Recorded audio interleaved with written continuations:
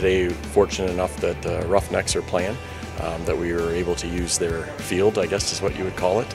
Um, and the guys were able to have a little bit of fun at the same time, get a workout in.